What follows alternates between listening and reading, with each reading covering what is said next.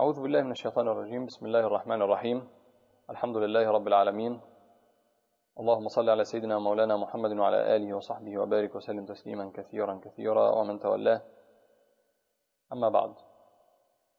نتكلم اليوم إن شاء الله عن دعوته صلى الله عليه وسلم وعرضه الدعوة على عشيرته الأقربين.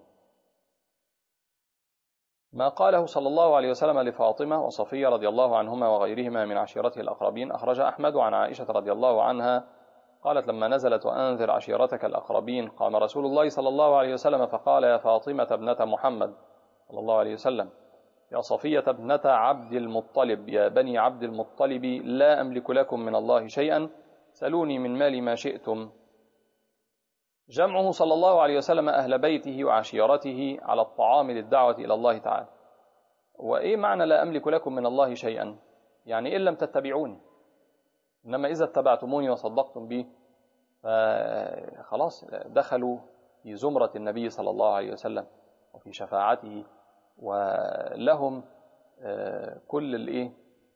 كل العهد وكل الميثاق وكل المنعة والشفاعة العظمى. إنما لا أملك لكم من الله شيئا إذا لم تتبعوني. خلاص. إذا لم تؤمنوا بي زي عمه أبو جهل أو أبو لهب. خلاص. كذلك أبو طالب يعني مش هيخش الجنة. أخرج أحمد أيضا عن علي رضي الله عنه قال لما نزلت هذه الآية وأنذر عشيرتك الأقربين جمع النبي صلى الله عليه وسلم من أهل بيته. واجتمع ثلاثون فأكلوا وشربوا. قال وقال لهم من يضمن عني ديني ومواعيدي ويكون معي في الجنة ويكون خليفتي في أهلي؟ وقال رجل يا رسول الله أنت كنت بحرا من يقوم بهذا؟ بحرا يعني سعة في الجود والكرم. نعم. قال ثم قال لآخر ثلاثا. قال فعرض ذلك على أهل بيته فقال علي رضي الله عنه أنا يعني أنا أقوم بدينك. وأخرج أحمد أيضا عن علي رضي الله عنه قال جمع رسول الله صلى الله عليه وسلم أو دعا رسول الله صلى الله عليه وسلم بني عبد المطلب وهم رهط وكلهم يأكل الجذعة الجذعة يعني أصل الجذع من أسنان الدواب وهو ما كان منها شابا فتيا فهو من الإبل ما دخل في السنة الخامسة ومن البقر والمعز ما دخل في السنة الثانية وقيل البقر في الثالثة ومن الضأن ما تمت له سنة.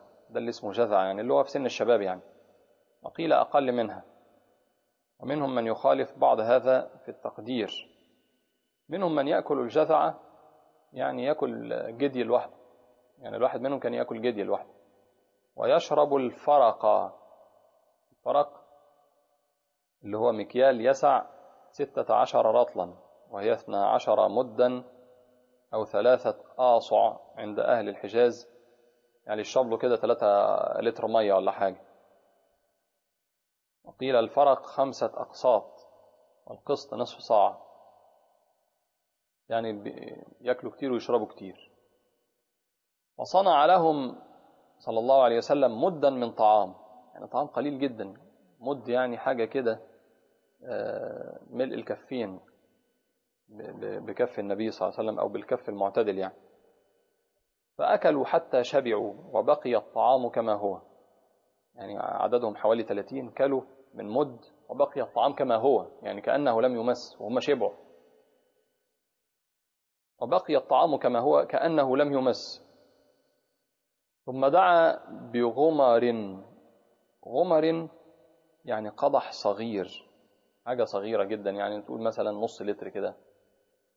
فشربوا حتى رووا كلهم شربوا 30 واحد شربوا وبقي الشراب كأنه لم يمس. ما هي زي ما هي معجزة دي ولا مش معجزة؟ معجزة. أو لم يشرب.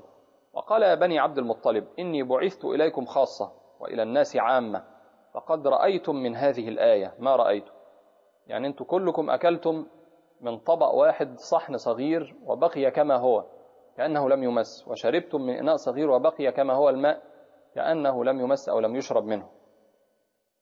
فأيكم يبايعني على أن يكون أخي وصاحبي؟ قال فلم يقم إليه أحد. قال فقمت إليه سيدنا علي. وكنت أصغر القوم. قال فقال اجلس. ثم قال ثلاث مرات. كل وكل ذلك أقوم إليه فيقول لي اجلس حتى كان في الثالثة ضرب بيدي بيده على يدي. يعني خلاص أنت آه، اللي هتبقى إيه؟ في هذه المكانة. هذا في التفسير لابن كثير. وأخرج البزار عن علي رضي الله عنه قال لما نزلت وأنذر عشيرتك الأقربين. قال رسول الله صلى الله عليه وسلم يا علي رضي الله عنه اصنع رجل شاة. رجل شاة فيها قد إيه؟ مفيش يعني قليلة جدا. يعني أي حد يأكلها ما ما تكفيهوش. اصنع رجل شاة بصاع من طعام واجمع لي بني هاشم. وهم يومئذ أربعون رجلا أو أربعون غير رجل. قال فدعا رسول الله صلى الله عليه وسلم بالطعام فوضعه بينهم فأكلوا حتى شبعوا. وإن منهم من يأكل الجذعة بإدامها. يعني لوحده. ثم تناول القدح فشربوا منه حتى روا يعني من اللبن. فقال بعضهم ما رأينا كالسحر يعني اللي إحنا شفناه ده زي السحر أشبه بالسحر.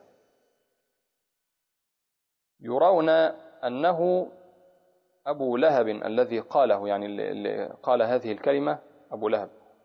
فقال يا علي اصنع رجل شاة. ثاني ولعل الموضوع ده في يوم تاني.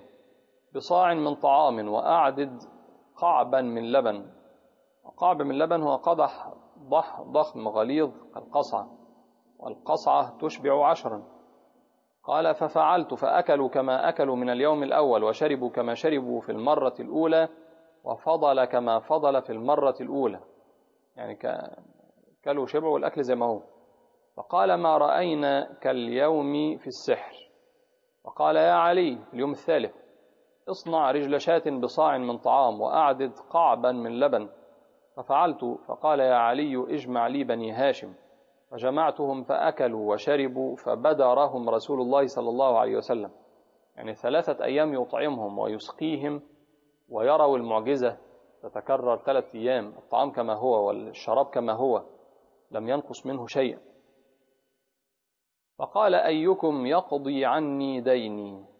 قال فسكت فسكت وسكت القوم. فأعاد رسول الله صلى الله عليه وسلم المنطق يعني عرض عليهم تاني الكلام فقلت أنا يا رسول الله. فقال أنت يا علي أنت يا علي. هو أصغر الناس في هذا الوقت سيدنا علي. وأخرجه أيضا ابن أبي حاتم بمعناه وفي حديثه فقال أيكم يقضي عني ديني؟ ويكون خليفتي في أهلي. قال فسكتوا وسكت العباس رضي الله عنه خشية أن يحيط, أن يحيط ذلك بماله. قال وسكت أنا لسن العباس. ثم قالها مرة أخرى فسكت العباس. فلما رأيت ذلك قلت أنا يا رسول الله. قال وإني يومئذ لأسوأهم هيئة. رضي الله عنه. وإني لأعمش العينين ضخم البطن قمش الساقين. معنى أعمش العينين يعني آه، ضعف الرؤية مع عنده يعني سيلان عينه بتدمع باستمرار. ابن علي رضي الله عنه. ومعنى حمش الساقين أو خمش الساقين يعني دقيق الساقين يعني ساق نحيفة. هذا في التفسير لابن كثير. وفي البداية أيضا كما قد تقدم الحديث بسياق آخر عن ابن عباس رضي الله عنهما في عرضه صلى الله عليه وسلم الدعوة على المجامع. يعني أيها الإخوة الكرام النبي عليه الصلاة والسلام يفعل هذا مع قومه مع قومه ومع ذلك لا يؤمنه. كم لاقى من الأذى والشدة ويريهم الآية تلو الآية ومع ذلك يعني ما يستجيبون له وما ينقادون لدعوته صلى الله عليه وسلم.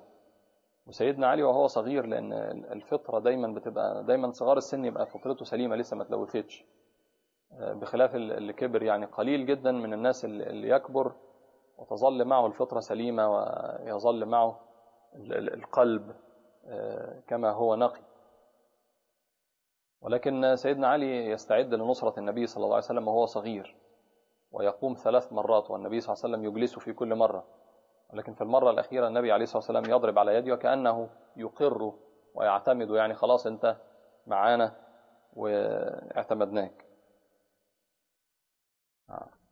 كده نبقى انتهينا من دعوة النبي صلى الله عليه وسلم لعشيرته الأقربين. وبعد ذلك ندخل إن شاء الله في عرضه صلى الله عليه وسلم الدعوة في السفر. كم يدعو النبي صلى الله عليه وسلم أناس وأفراد في أسفاره دعوته صلى الله عليه وسلم في سفر الهجرة. أخرج أحمد عن ابن سعد رضي الله عنهما وسعد الذي دل رسول الله صلى الله عليه وسلم على طريق ركوبة. قال ابن سعد حدثني أبي أن رسول الله صلى الله عليه وسلم أتاهم ومعه أبو بكر رضي الله عنه وكانت لأبي بكر عندنا بنت مسترضع مسترضعة. يعني طلب لها الرضاع وكانت ترضعها امرأة منا وكان رسول الله صلى الله عليه وسلم أراد الاختصار في الطريق إلى المدينة. فقال له سعد هذا الغائر من ركوبة وبه للصان من أسلم يقال لهما المهانان. يعني الطريق ده مختصر بس فيه للصين هيقابلونا.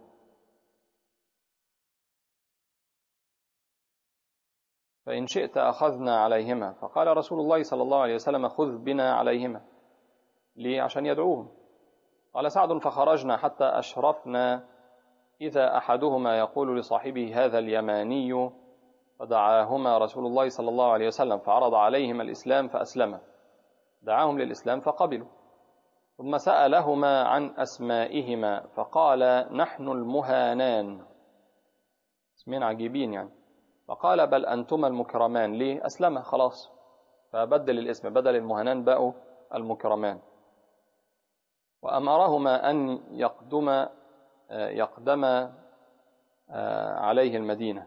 يعني يبقوا يذهبوا المدينة. دعوته صلى الله عليه وسلم للأعرابي في سفر. أخرج الحاكم أبو عبد الله النيسابوري عن ابن عمر رضي الله عنهما قال كنا مع رسول الله صلى الله عليه وسلم في سفر فأتى فأقبل أعرابي.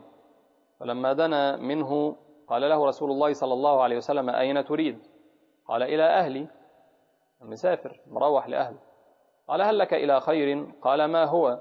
قال تشهد أن لا إله إلا الله وأني تشهد أن لا إله إلا الله وحده لا شريك له وأن محمدا عبده ورسوله. قال هل من هل من شاهد على ما تقول؟ في حد يشهد. قال هذه الشجرة.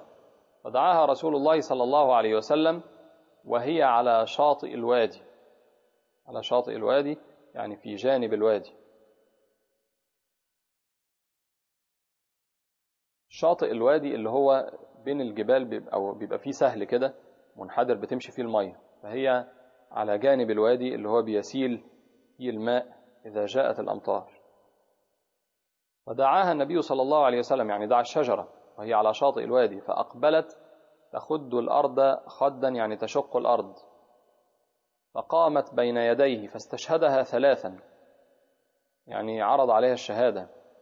فشهدت أنه كما قال شهدت أنه رسول الله صلى الله عليه وسلم. ثم إنها رجعت إلى منبتها ورجع الأعرابي إلى قومه فقال إن يتبعوني أتيتك بهم وإلا رجعت إليك وكنت معك. وهذا إسناد جيد ولم يخرجوه ولا رواه الإمام أحمد كذا في البداية. وقال الهيثمي رواه الطبراني ورجاله رجال الصحيح ورواه أبو يعلى أيضا والبزار. انتهى. يعني آية النبي صلى الله عليه وسلم يدعو إلى الله سبحانه وتعالى ويعني يري هذا الأعرابي آية فيسلم. نكتفي بهذا القدر إن شاء الله. الحمد لله رب العالمين والصلاة والسلام على سيدنا محمد وعلى آله وصحبه وسلم. والسلام عليكم ورحمة الله وبركاته.